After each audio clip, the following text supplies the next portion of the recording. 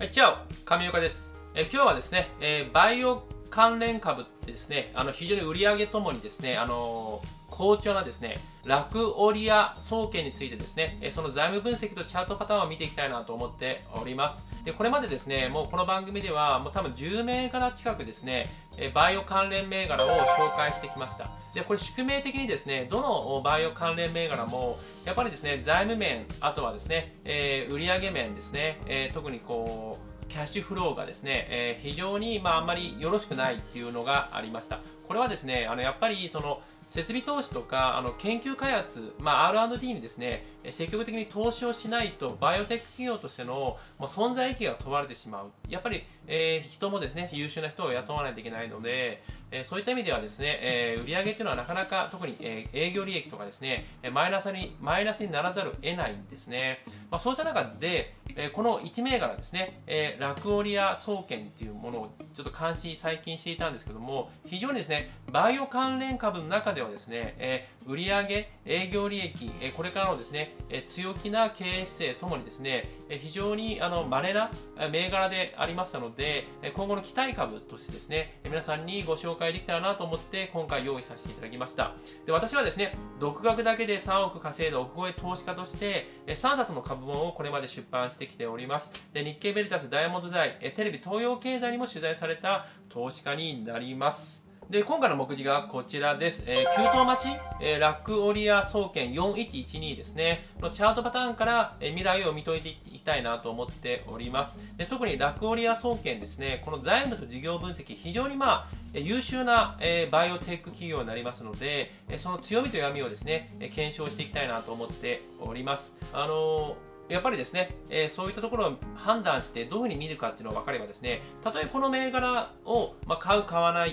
は別にしてもですね、えー、強い銘柄、特にバイオテックですね、えー、以降のですね、医学と工学を合わせ持った、えー、バイオテック企業の将来性とか、成長性、えグロース企業としてのですね、えその成長の、まあ、どのような形で、えプロ投資家は判断するのかということがですね、え理解できると思いますので、皆さんがもうそれを再現できるということを僕目指してますので、まあ、そこをですね、え独学でできるようになったら一番いいんじゃないかなと思います。で、最後にですね、えプロ投資家としての目利きと判断というものを紹介したいなと思っております。でまずはですね、え結論は番組の最後に述べますが、今回、まあ、あのー、今回のその銘柄についてですね、え一つ、まあ、え先にですね、えどういった銘柄なのかっていうのをですね、シェアしたいなと思っております。その方が多分理解が早いと思いますので、でバイオテック企業の中でもですね、えー、非常に安定した財務内容と成長性を誇っていると。まあ、私もですね、あの、実際に調べながら、こんなにバイオテック企業の中でも財務内容がいいものってあまりないんじゃないかなみたいな、まあ、ある程度中堅だったら別ですよ。この成長過程のバイオテック企業としては非常に優秀なんじゃないかなっていうふうにまあ見て取れました。で今後売上の伸びもですね、えー、利益がですね非常にあの見込めると。なぜかというとロイヤルティですね。その開発研究したものを他社にですね、えー、販売、まあ、OEM とも言えるかもしれないんですけども OEM っていうのはですねその販売権利をですね、えー、今シェアすることによってそこから、えー、ロイヤルティをもらうっていうことがあのあるんですね、まあ、それによってですね利益も今後の望めると。で、まあ、仕込むならば、まあ、チャートパターン的にも、まあ、これから急騰するんであれば、確率が高いんであれば、今じゃないかなと思って、今回ご紹介させていただいております。まあ、悪くはないんですけども、まあ、最終的にはですね、まあ、あの、バイオテック企業なので、この番組でも何度も紹介していただいている通りですね、宝くじ銘柄に近い要素もあるので、え自己判断でお願いできたらと思っております。はい、でこの番組のまずコンセプトなんですけども最速で基礎を手に入れてですね独学ですね独学で株で勝てるようになることを目指しておりますで他のですねあの、まあ、セミナーとか、まあ、そういったスクールとかですね、まあ、もちろん入ってもいいんですけども入って株式投資で勝てるようになることはねあんまりないんですね。なぜかというと結局自分のスキルとか経験とかあとは覚悟とかですね、えー、投資判断ってものを磨かないともうなかなかやっぱり勝てる投資にはなっていかないです。でやっぱりそのためにはどのような形でチャートとか財務とか、タイミングをですね、見計らうかここが非常に大事になりますのでそれというのはですねやっぱり独学で自分を磨くっていうのが一番まあ僕は最短だと思ってますし僕はそれで独学で3億円の資産を築いてきたのでもう僕はですねもうこういったものを社会に還元するっていうのが僕の使命だなと思っているので、まあ、この番組のではですね、えー、紹介させていただいているという形になりますもちろんスクールとかねお金払って入ってもいいんですけどもこう、まあ、同時並行でやってですね、逆にどっちが良かったとか、どっちがためになったみたいなことをですね、コメントでいただけたら、あの、私もですね、軌道修正したりとか、私自身のいらないところはですね、さらに発見して、改善していきたいなと思っております。これは私自身のためですね。はい。で、えー、もっと早く知ってれば1億の視点をもっと早く気づけたんじゃないかって情報を厳選してお届けしている番組になります。で私はですね株式投資歴20年になります。で脳科学者で MBA ホルダーでもあります。楽天証券で2億5000万。トレジャーネットで5000万。合計3億円の資産をですね今でも運用している投資家になります。それではですね今日もゆるくいってみましょう。高速で GO! はい。で、まずはですね、えー、4579ですね。えー、4579のラクオリア総研について、えー、分析していきたいなと思います。はい。でですね、えー、ラクオリア総研なんですけども、えー、韓国での方でですね、移植道逆流症治療薬の販売を開始して、これが非常にうまくいってるっていう会社になります。で、信用倍率もですね、それほど高くない、えー、まあ、メディテックとかですね、これまで紹介してきたバイオテック企業で大体6000から8000ぐらいの間で、え信用倍率もあったと思うんですが、この会社はまだ1629ということで、あまり注目を集めてないんじゃないかな。あまり知られてないってことだと思います。で、こういったですね、えー、バイオベンチャーっていうのは、PER とか PBR あまりこう見てもほとんど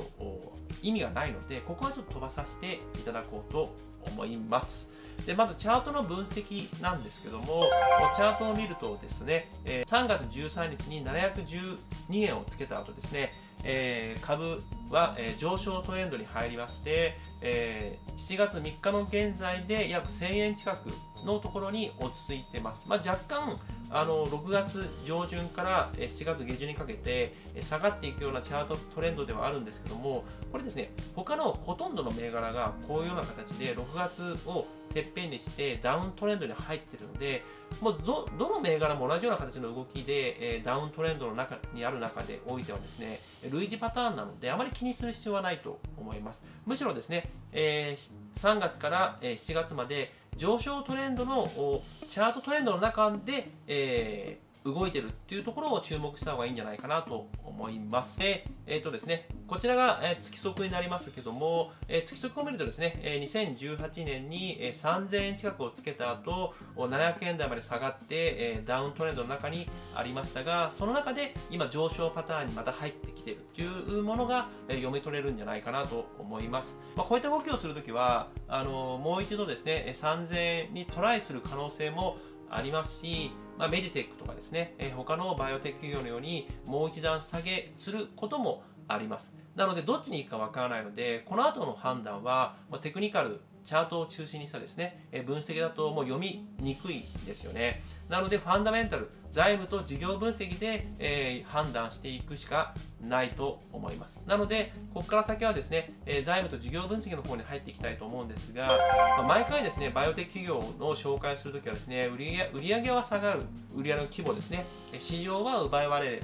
で、えー、経常利益はマイナスを続ける、で、人株利益もほとんどないみたいな。いう形のものが多かったんですけども、このですね、企業はですね、そんなことはなく、売り上げは伸びてるっていうですね、状況になります。つまり、市場を拡大している、営業と経営でですね、市場拡大、パイを抑えに入っているっていうステージにあるんじゃないかなと思います。で、営業利益ですね、最終的に営業活動した結果の利益もですね、黒点に転じるんじゃないかって予測が今されてます。ちょっとバイオテック企業、バイオベンチャーの営業利益予測ってね、ですいうのはですね、ちょっと信用ができないので、あくまで黒点予測になってるってことが、まあ、見て取れます。でそういった意味ではですね、事業体としてはですね、えー、事業体も生命体というふうに考えるとですね、えー、非常に攻めに転じてですね、えー、自分の販路、もしくはですね、事業基盤、そういったものを広げてるっていう段階にあるんじゃないかなと思います。でこれはですね、あの